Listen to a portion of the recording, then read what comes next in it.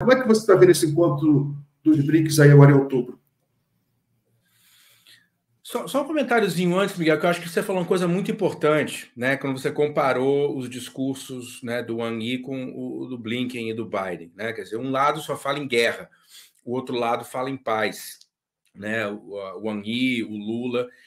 Eu acho que é, o problema que nós temos hoje, Miguel, isso, sinceramente, isso me preocupa muito, é que quando a gente olha tudo que a gente começou a falar aqui na live, né, sobre, por exemplo, como os Estados Unidos vão, vão perdendo a corrida tecnológica para a China cada vez mais. É, os Estados Unidos aplicam sanções na China, é, acabam, a China supera depois de alguns anos. Aplicaram na Rússia, a Rússia está superando e está dando uma guinada na economia é, que, que talvez não acontecesse sem essas sanções, né? O que, que se você está em Washington olhando para isso, que, que você acaba deduzindo? Olha, não tem mais muito o que a gente fazer para parar a China, do ponto de vista econômico e tecnológico, e não tem muito mais o que a gente fazer para parar a Rússia ou, como você falou, essa, esse, essa parceria cada vez mais é, é, aprofundada entre China e Rússia, desfazendo o trabalho do Henry Kissinger lá em 72, né? Quando a, a, a fez ali uma criou uma cunha é, é, definitiva entre China e União Soviética que começou em 61, né, com a, a cisão dos, dos, dois países. É, quando você olha para tudo isso, eu acho, Miguel, que não é muito difícil você deduzir o seguinte, do ponto de vista né, do império. O único jeito de parar esses caras é com uma guerra. Não tem mais o que fazer. Não tem mais como a gente é, é, é, é, tirar o. recuperar, por exemplo, o terreno no, no, setor de alta tecnologia em relação à China. As condições objetivas já não, já não, não permitem mais. Né? Você, brevemente, aqui você colocou uma, uma noticiazinha, né? De que todos os esforços do, do governo Biden de incentivar é, é, a atração de indústrias de alta tecnologia para os Estados Unidos, que já foram mais de 500 bilhões de dólares de incentivos, é, essa matéria da Nikkei estava dizendo o quê? Que as, as grandes empresas estão recuando dos projetos nos Estados Unidos. A Ford recuou, a Samsung recuou, a, a, a TSMC também está patinando, porque, porque não tem mais.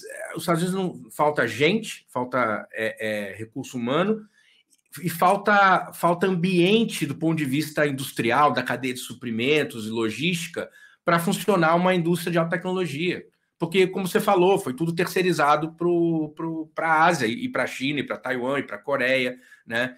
Então, é isso. Quando você está sentado no Pentágono e na Casa Branca, você fala que, olha, gente, no fundo, no fundo, o único jeito de parar esses caras é com uma guerra. E não é à toa que eles estão apostando tudo na guerra na Ucrânia, agora tudo no Oriente Médio, desfazendo, inclusive, né, um, um momento de estabilização regional que aconteceu recentemente, no ano passado, quando a, a Arábia Saudita e o Irã finalmente fizeram as pazes num acordo que foi é, é, articulado inicialmente pela Rússia e foi garantido pela China em Pequim, né? Você pouco tempo depois disso, meses depois disso, você tem é, um, uma, uma virada completa na região com o começo do massacre do povo palestino.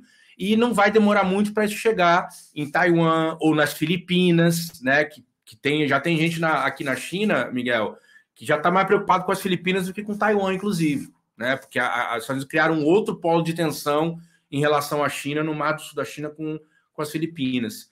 Então, acho que isso é a grande preocupação. E aí, indo para os BRICS, é, eu acho que tem uma expectativa cada vez maior né, dos países do sul global, de que os países dos BRICS possam ser uma espécie de fiador né, de mediador de, de acordos de paz, e evidente que isso é, sobretudo, acho que a China vai ter um papel fundamental nisso, né, principalmente acho que no caso agora com, na, na Ucrânia, e é, e é, muito importante que o Brasil faça parte disso. Aliás, é, cá entre nós, acho que isso é um dos, um dos grandes acertos esse ano da política externa brasileira, que teve outros equívocos, né? Que a gente pode falar sobre isso depois, mas esse caso específico é, é, foi muito importante essa iniciativa do presidente Lula mandar o Celso Amorim para a China para falar com o Yi, que é, é que a gente está vendo aqui, é, para fazer essa para fazer essa articulação, né? Agora, do ponto de vista econômico, que eu acho que os BRICS precisam avançar muito ainda, né? E aí a gente até falou sobre isso também numa live recente, né? Sobre essa questão do Fundo Monetário, que seria um, um potencial alternativo ao FMI, que, que o, é o acordo de reserva contingente dos BRICS, que não está sendo usado, ele está parado, são 100 bilhões de dólares, em tese, para socorrer países é, em dificuldades com as suas reservas internacionais, como é o caso de dois países dos BRICS atualmente, Etiópia e o Egito, que estão no FMI pedindo dinheiro e estão se comprometendo com acordos que vão ser absolutamente é, é, é, destrutivos para a sua economia nacional, com privatizações, com, é, com, final, com, com fim de, de mecanismos de controle de câmbio para não deixar a moeda desvalorizar, enfim, aquilo que a gente sabe, a receita histórica do FMI, né? medidas de austeridade fiscal, etc, etc. Então, isso é, um, é, um, é uma questão. Eu acho que a questão, o banco precisa avançar muito, né? O banco, ele esse ano, ele só desembolsou, o último dado que eu tenho é de menos de 3 bilhões de reais em projetos, o que é muito pouco para um banco do tamanho, né, de países do tamanho dos BRICS. É, apesar de que a presidente Dilma Rousseff fez um trabalho muito importante nesse ano e pouco que ela está lá, né? Ela conseguiu, a equipe conseguiu, o banco conseguiu arrecadar 7 bilhões de dólares é, no último ano e pouco, sendo que a média nos oito anos anteriores era de 4 bilhões de dólares, então isso houve um avanço, mas ainda é muito pouco, né? É muito pouco para um banco que foi criado para ser um grande banco de desenvolvimento do sul global, né? Sem as amarras e sem um controle de Washington e europeu sobre o Banco Mundial e sobre o FMI. E, e há outras, outras possibilidades, a gente pode depois, para não se estender muito, mas é, os BRICS hoje têm uma capacidade gigantesca do ponto de vista da produção de energia é, e da produção de comida. Né? Os países dos BRICS somados, eles são responsáveis por grande parte da produção energética e da produção de alimentos no mundo hoje. Ora, isso precisa ser, em algum momento, precisa ser, é, é, é isso precisa se transformar num, num, acordo, numa ação conjunta dos países dos BRICS, para que isso reverta benefício para os países, para os povos dos países. Né? Você pensar hoje, por exemplo, é, os países dos BRICS, se a gente colocasse a Arábia Saudita junto, a Arábia Saudita ainda não entrou oficialmente, né? Ela está ali em cima do muro. Diz que vai, não vai, vai, não vai. Mas se colocar a Arábia Saudita junto, os países dos BRICS hoje eles têm 45% das reservas de petróleo, 56% das reservas de gás natural.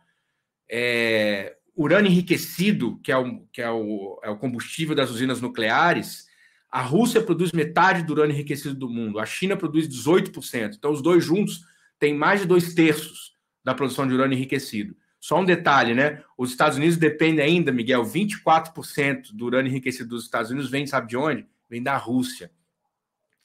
Os Estados Unidos, inclusive, o Biden baixou a medida proibindo a importação de urânio russo em maio.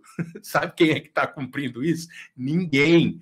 Porque se fizer isso, para, para uh, um quarto das usinas nucleares na, na, nos Estados Unidos param. Né? E a Europa depende 30% do, do urânio russo. Você não vai ver sanção europeia contra, contra o urânio russo. Né?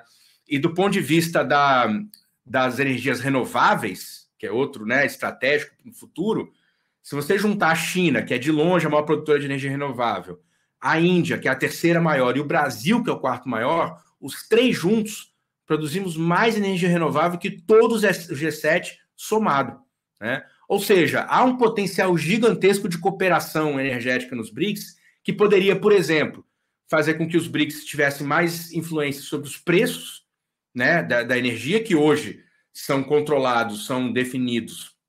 O petróleo ainda está mais ou menos controlado entre Rússia e Arábia Saudita, né, hoje em dia. Mas os outros, né, os preços flutuam muito no mercado mundial, em grande parte eles são definidos em Wall Street ou na Bolsa de Chicago, por causa da, dos alimentos. Né? E por outro lado, a gente sabe que um dos grandes pilares do dólar, da hegemonia do dólar, é o fato de que é, 80% a 90% do mercado energético é feito em dólar, né, das transações, e, e cerca de 80% a 90%, dependendo do, do é, do, dependendo dos, dos alimentos, das commodities alimentares, são feitas em dólar.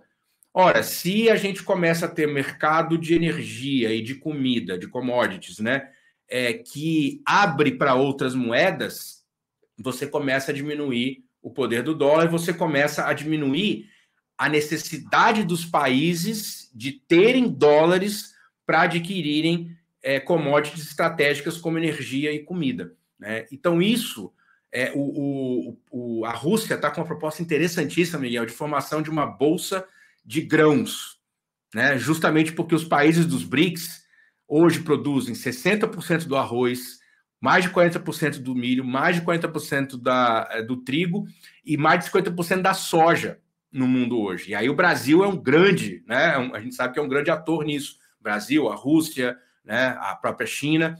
Então, é, você imagina que não seria. O presidente Putin falou um dia desse: olha, como é que pode? Nós produzimos a maior parte dos grãos do mundo e os preços são definidos em Chicago. Tem alguma coisa errada. Nós precisamos ter voz e precisamos ter influência nos mecanismos de formação de preço das commodities alimentares. Né? E precisamos abrir o mercado para outras moedas que não o dólar. Né? Então, isso são, são potenciais. Isso não quer dizer que vai acontecer. Isso precisa de decisão política, isso precisa de articulação política, isso precisa coragem política para bancar também eventuais, é, é, eventuais reações do outro lado, do lado do Ocidente. Né? Mas é, que há esses potenciais estão colocados para os países dos BRICS, é, isso está claro. Agora, em Kazan, o que eu tenho ouvido, Miguel, não vai haver grandes novidades, a não ser tem uma chance, parece que boa, tem sido discutida, é, do lançamento de um sistema de pagamentos alternativo ao SWIFT, que seria aí o, o BRICS Bridge, ou, né, é, esse é um dos, dos nomes que está circulando lá nos corredores é, é, na Rússia, e isso seria, claro, um grande avanço. Né? Há também um grupo é, importante de economistas que está se reunindo, vai se reunir, inclusive, antes da cúpula. Você lembra que na cúpula do ano passado em Joanesburgo, é, uma das determinações foi criar um grupo, uma, uma, um grupo de economistas, né, é, acompanhado pelos ministérios da, da, da economia dos países, é, para estudar essas alternativas, né, de, de, sistema de pagamentos, de comércio de moeda local e, eventualmente, de uma moeda de referência única, uma, uma moeda de reserva para os BRICS. É, desse grupo, por exemplo, faz parte o Paulo Nogueira Batista, né, que é o primeiro, foi o primeiro vice-presidente dos BRICS, né, faz parte o Jeffrey Sachs, né, que é um economista famoso dos Estados Unidos, que vem, inclusive, comprando muita briga lá nos Estados Unidos ultimamente. Né. Esse grupo está coordenado pelo Alexander Mogin, que é o ex, foi, foi diretor executivo russo do FMI durante muito tempo. Então é um grupo que ainda está caminhando lentamente, mas, enfim, está formando uma massa crítica, pelo menos para pensar em soluções concretas de alternativas à, à, hegemonia do dólar. Mas eu acho que a gente não tem que esperar ainda grandes, é, grandes é, é, é decisões ainda nessa cúpula, mas, enfim, acho que vai ter algum avanço. E ano que vem é a vez do Brasil, né? Apesar de que nós estamos num, numa questão complicada, porque por conta da COP no segundo semestre, a nossa cúpula vai ser em julho, né? Isso vai dar muito pouco tempo para a presidência do Brasil. Isso é um pouco preocupante, porque no fundo, no fundo, a gente sabe que no Brasil as coisas vão começar depois do carnaval. E se começar ali em dezembro, janeiro, ah, né? Mesmo assim, são só seis meses. Mas parece que também tem gente no Itamaraty discutindo a possibilidade de que, mesmo que a cúpula seja em julho, que a presidência do Brasil ainda permaneça por mais aí uns, uns três meses antes de passar para a Índia, que vai ser a próxima presidente da é, presidir, né, é, a, os BRICS. Então, enfim, acho que tem aí uma perspectiva interessante, né, do Brasil no próximo ano, de saber qual que vai ser a contribuição do Brasil para alguns desses potenciais, né? E o Brasil, por exemplo, como grande produtor energético e grande produtor de commodities alimentícias, de comida, né? Poderia, por exemplo, encampar uma proposta como essa da Rússia, né? Da bolsa de grãos e de repente a gente avançar em, em mais cooperação econômica concreta é, para os BRICS, porque eu acho que o que está me preocupando um pouco, Miguel, para finalizar, é que o, o, acho que os BRICS ainda eles estão ainda muito. Nós temos um momento interessante, muito interesse, né? 34 países já, já se alistaram aí para entrar nos BRICS, mas ainda um, um, momento de muito poucas conquistas efetivas, né? E se a gente não, daqui a alguns anos, não começar a ter benefícios, como é que a gente vai defender os BRICS é, nos países? Né? O que, que os países estão ganhando fazendo parte dos BRICS? Né? E acho que isso é um dos grandes desafios para os próximos anos. Muito bem. Ainda tem isso aqui. Lembra que uma vez a gente conversou sobre a questão dos minerais críticos, que a China, né? A China é um dos grandes, a, a maior parte das reservas globais estão na China, os minerais críticos são minerais necessários à indústria tecnológica. É, você, você também tem, tem pesquisado isso. O que você tem a dizer sobre isso? Essa notícia aí do Financial Times, publicada na Folha, que as nações se estão se unindo, olha só, unindo para tentar quebrar o domínio da China sobre minerais críticos, que é a própria matéria, uma confissão de que a China domina o setor de minerais críticos. Não, muito bem lembrado, Miguel. Na verdade, tem inclusive, eu, eu até tentei achar agora há pouco aqui, mas não rapidinho, não, eu tenho uma. Eu achei a matéria, mas está no paywall, não consegui pegar. Mas saiu uma matéria do New York Times também sobre isso no ano passado, né? Porque a China, mais do que as reservas, o que a China realmente comanda, assim, é, é, na maior parte dos metais estratégicos, é o, o refino, né?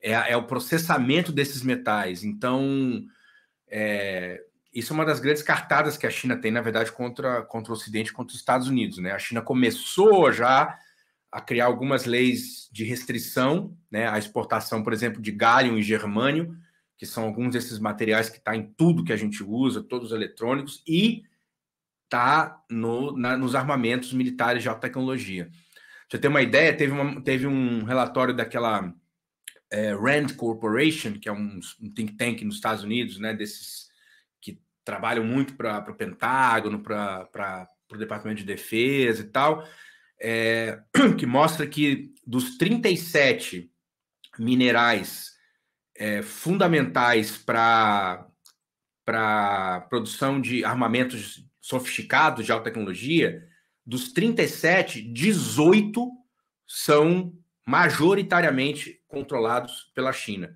o refino deles, principalmente, né? Então, isso é uma outra questão, né? Isso é uma opção nuclear também que a China ainda não está usando, mas nada impede a China de, no futuro. Agora, cá entre nós, Miguel, para o sul global, isso também não é tão bom, né? Eu acho que isso, isso nesse momento é uma, é uma arma que a China tem contra o Ocidente, mas no fundo, no fundo, para os países do sul global, de onde vem grande parte desses minerais que vão ser refinados na China, seria preciso também avançar, eu acho que daqui para frente, em acordos mais benéficos para os países do sul global, que já vem acontecendo, né? Por exemplo, é, teve o acordo da China na Bolívia, né, da, da CATL, que é, que é a gigante de, de produção de bateria de lítio, que está investindo mais de um bilhão de dólares em, em, duas fábricas lá. Aliás, também uma, uma subsidiária da, da Rosatom, que é a, é a grande empresa russa de energia atômica, eles têm uma subsidiária que trabalha com lítio, né? Eles também fizeram um acordo com a Bolívia para refinar o lítio na Bolívia e aí exportar o lítio com maior valor agregado, gerando mais recurso para o Estado e para o povo boliviano. Mesma coisa aconteceu no Zimbábue ano passado, né? O Zimbábue proibiu a exportação de, de lítio bruto, né? Então, as empresas chinesas que eram as que importavam tiveram que fazer uma fábrica no Zimbábue para é, processar o lítio lá. É, mesma coisa na Indonésia aconteceu com níquel, né? É, eu acho que esse tipo de acordo nós vamos precisar avançar mais, nos, nos países do Sul, na América Latina, na África e na Ásia, em relação à China. Porque a longo prazo também não é interessante para a gente, para os países do Sul global, que essa capacidade de refino esteja tão concentrada somente num país que é, que é a China. Porque, claro, a China está. É, é, claro, ela tem muito dinheiro, ela chega numa mina de, de cobalto no Congo, um país que não tem como fazer uma fábrica de cobalto né, com seus próprios recursos, a China vai lá, compra a mina, é, extrai o, o, cobalto e manda é, é para a China para refinar, refinar, lá. Não, não é a melhor opção para os congoleses, né? assim como não era para os bolivianos a questão do lítio. Então, eu acho que isso vai ser uma. E eu acho que isso é o tipo da coisa que precisa ser discutido nos BRICS também, né? Porque os países dos BRICS, acho que daqui a pouco vai começar a aumentar o número de países e, e alguns desses, desses desequilíbrios é, do ponto de vista da industrialização, a China vai precisar também negociar, né? Acho que vai ter que dividir um pouquinho aí o, o, o bolo que ela fez crescer tão bem nos últimos 40 anos, ela fez a sua lição de casa, né? A maior parte dos nossos países do sul global, nós não fizemos a nossa lição de casa, pelo contrário, ou quando tentamos fazer, sofremos golpes, né? financiados pela Casa Branca, e aí desorganiza a economia nacional. Mas, é, enfim, acho que vai ser um dos grandes desafios, porque os países precisam industrializar, né? Ou reindustrializar, como o caso do Brasil, mas, sobretudo na África, é preciso é, é mais recursos para aumentar, enfim, aumentar o padrão de vida da população, né, com, com uma produção mais robusta, né, com, com uma indústria mais robusta.